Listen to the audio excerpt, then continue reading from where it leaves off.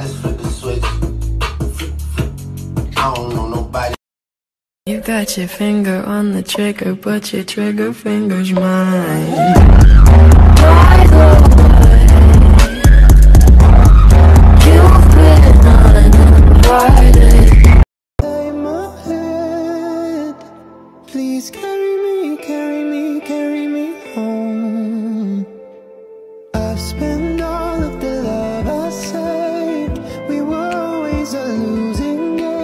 town boy in a big arcade. I got addicted to a losing.